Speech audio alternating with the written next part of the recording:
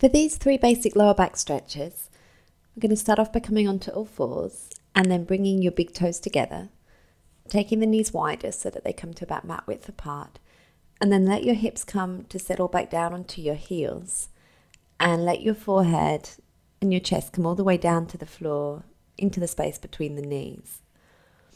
So the hips are fairly wide apart. It may be that they don't press right the way down onto the heels, and that's fine. And if your head doesn't come all the way down onto the floor, you can always bring your hands onto your your head onto your hands, or you can stretch your arms out in front of you and let the forehead really release all the way downwards towards the ground beneath. Take a few moments just to find your breath and breathe into your belly and breathe into your back and breathe into your hips and breathe all the way down towards the base of your spine. This lengthens your back muscles it opens the whole of the lower back, realigning the pelvis and releasing any tension around the head, the neck, the shoulders, and the lower spine itself. A couple of more long, full, deep breaths into the belly as though you can breathe into your kidneys and feel as though they could float up a little bit towards the sky on the inhalation, dropping down the back on the exhalation. There's that constant expansion through the belly and through the back and the pelvis each time you breathe in.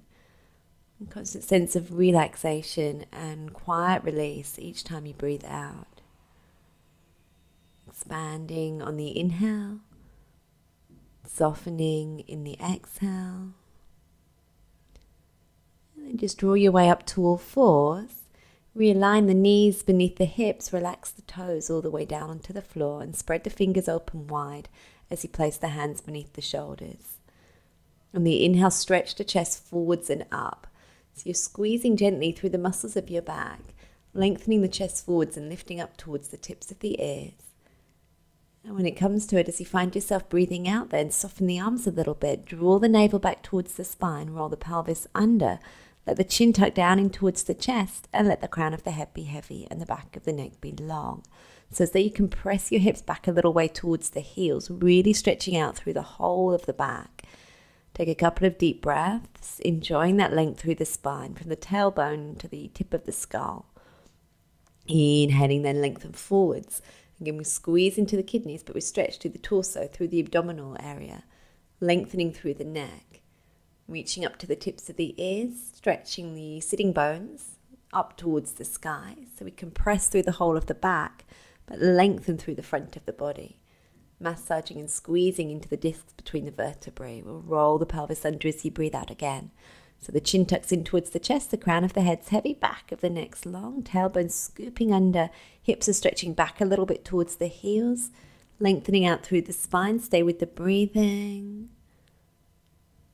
And inhale, extending forwards, lifting, lengthening, and opening staying with the breath. Feel that the collarbones are nice and open.